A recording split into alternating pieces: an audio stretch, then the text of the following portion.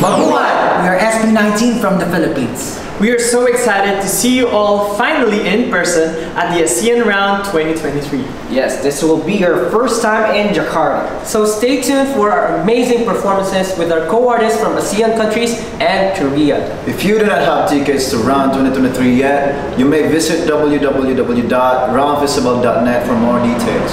See you!